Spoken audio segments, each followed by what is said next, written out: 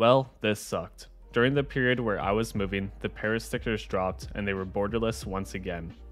What ensued was total chaos, with most people mass selling and a few buying the dip. But it is now clear that saving Stockholm and Antwerp would not be possible. The reason why these collections saw such an insane rise is that we expected them to be the last borderless stickers released in the near future.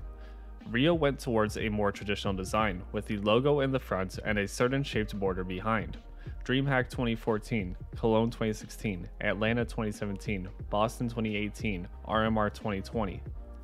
Rio's design was back to the status quo, which would make Stockholm and Antwerp unique. Another chance to invest in Katowice 2014, you could say. But all of these dreams came crashing down when Paris dropped. Everyone who had a large investment knew the mission. It was time to dump. And that's how we get to today. If you bought a MOUZ holo just before the stickers dropped, you lost 82% of your investment just like that. If you bought a Cloud9 holo just before the stickers dropped, you lost 45% of your investment. But I won't harp on it too much. If you follow the market, you already know all this stuff. But if you don't, just know that people like me lost a ton of money on these collections.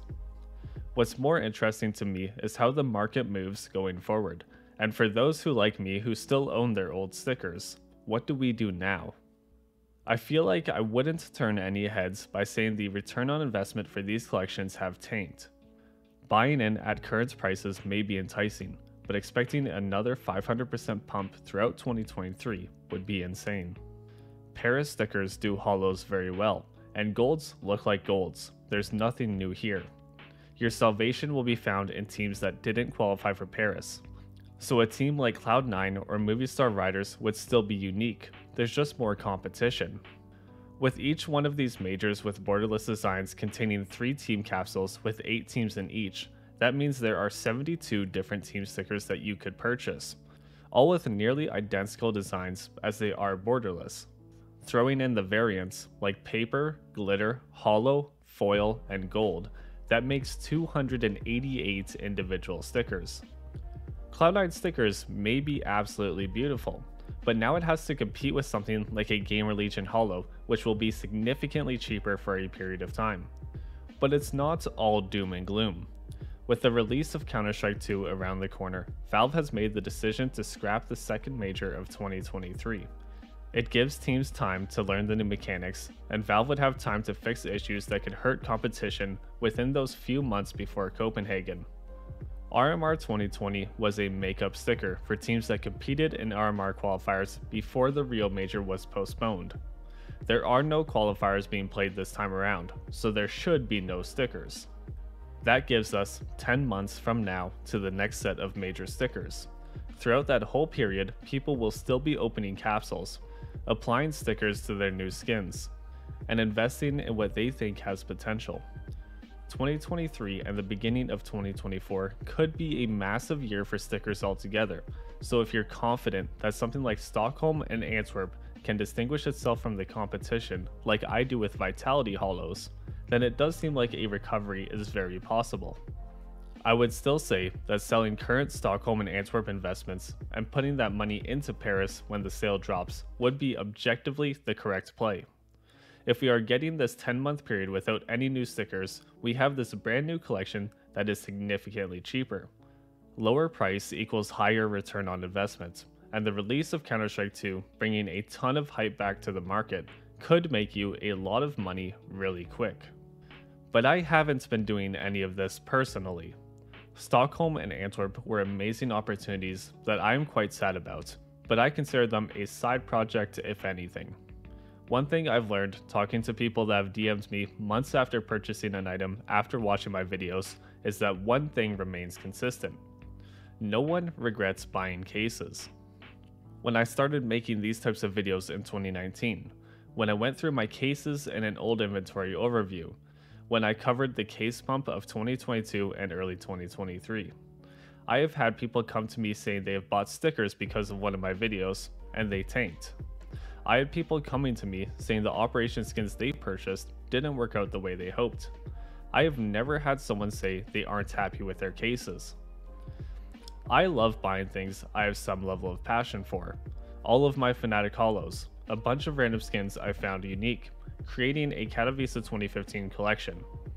All of these things feel fulfilling, but these boring cases sitting in a storage unit absolutely demolish them from a pure profit perspective. Cases across the board have come down significantly from their peak, and it's looking like they have mostly stabilized.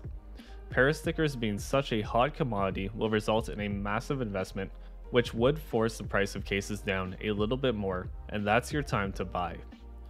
With the Counter-Strike 2 release imminent, we will see peak player numbers and a whole bunch of content. Parts of that content will be case openings like the 2016 days. While it's all theory until the day comes, I believe cases not only are the safest purchase, but might see the biggest boom of any item in the coming months. My recent purchase was Horizon cases, with some buff balance I helped a guy sell, but I have a large investment in Prisma and Fracture cases, and it will continue to grow if the dip from the Paris sale is significant. From there, it's the typical investment type items, like Katowice 2015 or some knives that see visual upgrades in CS2. I would 100% recommend diversifying in some older items and skins that could see a pump when the update comes, but from a pure profit perspective without using variables that could change, as Counter-Strike 2 may see continuous visual updates. Going into cases, attempting a higher return on investment with Paris, or maintaining stickers that are unique to either Stockholm or Antwerp and selling the rest is where I personally sit. Now will I actually sell my somewhat dead Stockholm stickers? Probably not. I mean look at my storage units, they are disgusting. I have been wasting this money for years now, why stop? But if I actually listen to what the little guy in my head tells me, I would expect a higher inventory value in the coming months if I did any of those three things. I hope everyone is doing well despite the massive losses that some are seeing. I probably lost a few thousand dollars, but CS has given me so much, I was personally able to move on. It's the importance of diversifying. I asked myself many times if I should just sell my Katowice 2015 stickers and buy into Antwerp, Maybe I sell my knife and buy a few MOUZ holos. Those Fnatic stickers are going to be a disaster to sell. I should start now and funnel that money into more Vitality holos.